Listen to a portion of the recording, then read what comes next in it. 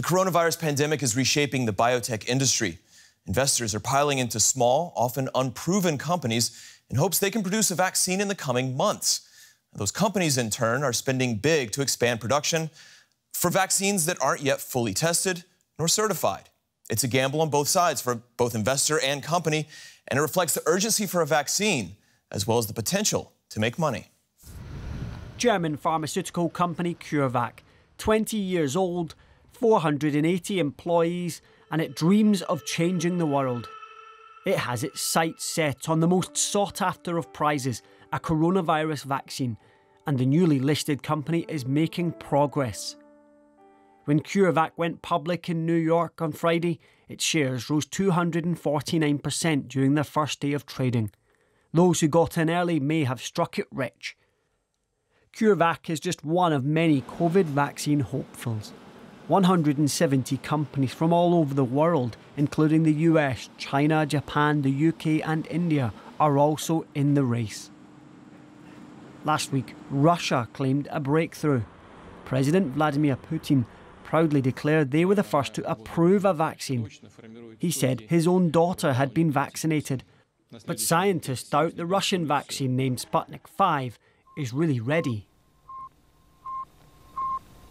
What's beyond doubt is that thanks to high tech methods used by the likes of CureVac, research is moving faster than ever. In normal times, it would take 10 to 15 years to get a vaccine to market. Now, some companies have reached the clinical trial phase in a matter of months. Regulators are expecting a breakthrough as early as next year. No other product in the world has a larger potential market. Many nations have already placed orders for hundreds of millions of doses. CureVac plans to produce a billion per year if its vaccine comes to fruition. The question is, whose will hit the market first? And for more on this, I'm joined now by Franz Werner Haas. He's CEO of CureVac. It's good to have you on the show. When will. Hello, good morning. Thank you. When do you expect your company to have a vaccine ready for the public, and how much will it cost per dose? We are planning to have the vaccine ready somewhere mid next year, depending certainly on the data. We are running clinical trial, which will be broadened after first clinical data, which we expect in September, October.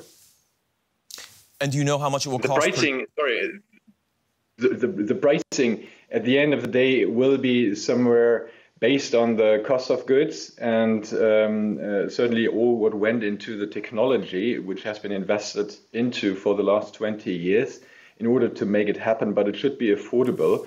Uh, so you, you, shouldn't overdo it with the price. There are certain settings already done. We are on a very low uh, base, uh, uh, cost of goods, and uh, that should be reflected in the price there as well. So I would guess somewhere between 10 and 15 euros. 10 and 15 euros. Are you already in discussions with governments to supply certain amounts of the vaccine? Yes, of course. Uh, as uh, we have got something to offer, and you, as you have seen that governments are doing this advanced purchase agreements, and certainly we are in discussions as well. Can you give us any names of the governments that you're in discussions with right now? No, at the moment I can't. Sorry. Your company is 20 years old and has yet to bring a, a product to market. Why do you believe it can deliver now in such a short time frame? Well, the technology has been developed during all these years. In order to get a technology in a, in a stage that you can really uh, develop products on it, it takes a certain period of time.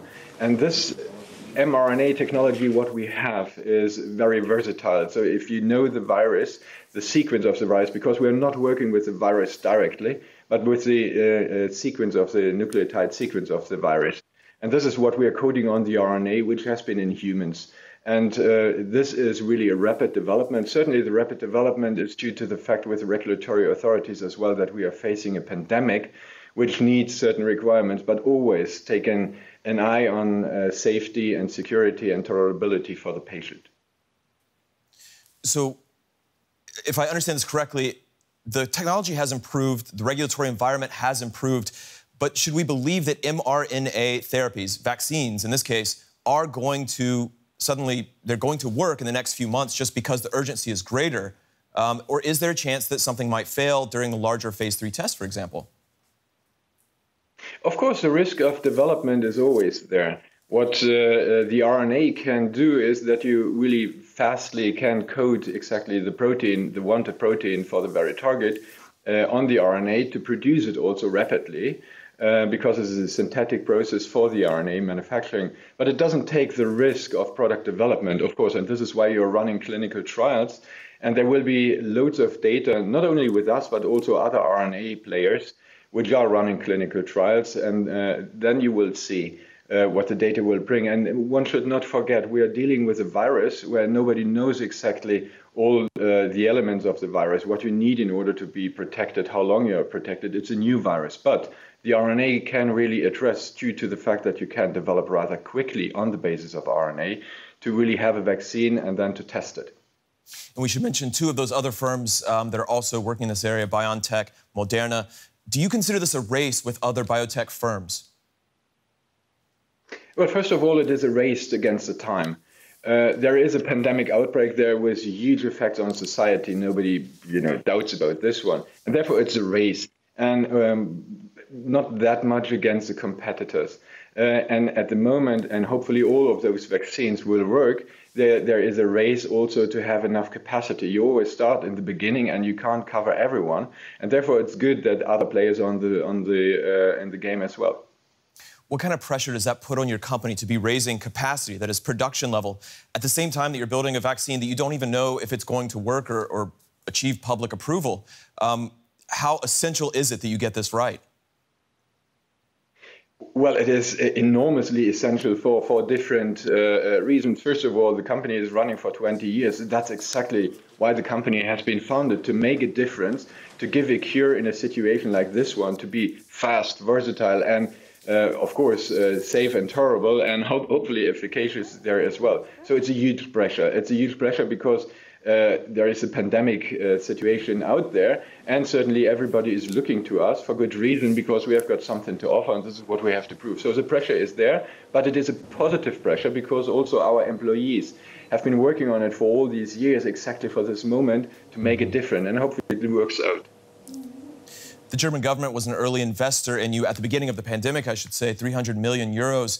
Do you expect them to climb out now that you've raised successfully so much more money? Well, I certainly cannot talk for the German government, but the investment, and there was a press conference also with the Minister of uh, um, Economy saying, okay, this is a long term investment. Mm-hmm. And uh, they are in for several weeks now. I think this is not a long term investment. There is so much more we can do because it's not only about COVID, it's really uh, changing the medicine today and, and put it on RNA uh, in, in different regards, in oncology, protein therapies as well. All right. That was Franz Werner Haas, CEO of CureVac. Thank you so much for joining us. Thank you very much for having me.